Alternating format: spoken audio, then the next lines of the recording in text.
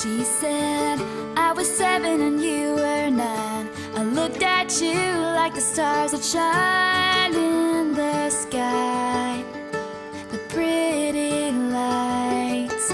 And our daddies used to joke about the two of us growing up and falling in love. And mama smiled and rolled their eyes and said, Oh.